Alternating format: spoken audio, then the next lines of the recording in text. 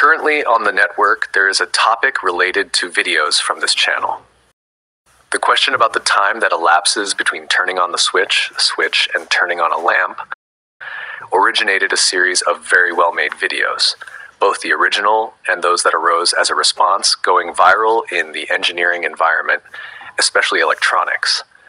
These videos conclude that in electrical circuits, energy travels carried by an electromagnetic wave guided by wires through the air. However, something tells me this result is not entirely correct. The result of a dispute between scientists when they tried to explain the failure to transmit data with the first transatlantic telegraph cable is one of the justifications for this conclusion. The distorted signal makes it difficult to recognize whether it was a dot or dash transmitted by Morse code. The studies of William Thomson, later Lord Kelvin, were of great help for the laying of the first transatlantic cable. Thomson held that electrical signals moved through the wire like water flowing through a tube. Other scientists, including Heaviside and Fitzgerald, argued that the fields around wires carry energy and information. This opinion was the one that prevailed since the pair used to transmit, wrapped with insulation, was inside an iron sheath used as protection that modified the wave that travels through the cable. Oliver Heaviside formulated the telegrapher's equations, a set of linear partial differential equations that describe potential and current in an electrical transmission line. The transmission line model, developed by him in 1876, demonstrates that along the line can be wave patterns. This theory covers circuits with direct current to high frequency ones.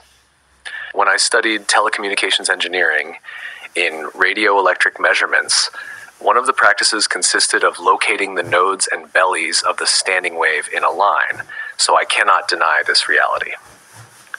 With this background, it would seem ridiculous to contradict the conclusion reached in the mentioned video that an electromagnetic wave guided by the cables in the air that surrounds the circuit transport the energy. However, something tells me this result is not entirely correct, and as counterproof, I can mention another historical fact. At the beginning of radiophony in Argentina, the engineers of a modulated amplitude station calculated a range of at least a thousand kilometers for the available equipment. They verified that the signal could barely be received at distances of 50 kilometers from the transmitter. The cause of this loss was due to human ingenuity. Inhabitants of a settlement in the zone of the radiation lobe illuminated their houses with energy from the radio waves obtained with circuits tuned to the carrier frequency of the transmission. If power travels as an electromagnetic wave outside of wires, it's rare for its theft to go unnoticed. High voltage lines cover hundreds and even thousands of kilometers supplying cities. If this energy flows through the air, in addition to the risk it implies, part of it would dissipate in metallic elements such as towers or in the ground itself.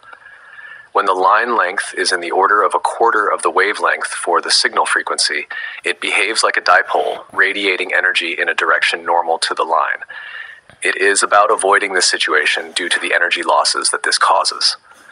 Finally, the birds perch on the lines or fly between their cables without charring to death or evaporating from being traversed by so much energy. All this made me review my knowledge, especially in subjects that I did not understand at the time and that were taken as known, but led to correct mathematical models that allowed technological progress in this field. In Richard Feynman's book Electromagnetism and Matter, Volume 2, propagation in coaxial cable is explained in the usual way using the telegrapher's equation. Next, he introduces the propagation in waveguides, arguing the central coax cable is not needed from a certain frequency. This phrase assumes that in coax and waveguide, an electromagnetic wave transmits energy. In my opinion, there is a difference. In the coax, a source drives a current through the circuit, causing a current wave and at the same time a potential wave. In the waveguide, a radiating dipole at the emitting end injects electromagnetic energy. In this second case, an electromagnetic wave is injected that propagates through the guide. When an electric current flows through a wire, if the harmonic component with the highest frequency in the Fourier series expansion is much less than c over 2 pil, where c is the speed of the electromagnetic wave in vacuum and l the length of the cable, the magnetic field that it originates is called quasi-stationary, being able to neglect the delay with which electromagnetic disturbances propagate in the region. This is equivalent to removing the term in which the time derivative of the electric field appears in Maxwell's equations. For example, for a 1 meter long circuit with a 100 kilohertz signal, the simplification can be done since C over 2 pi L is 477 times the maximum frequency. In the transmission line equivalent circuit, the distributed inductance takes account of time variations in the magnetic field. The distributed capacitance is associated with the potential along the line.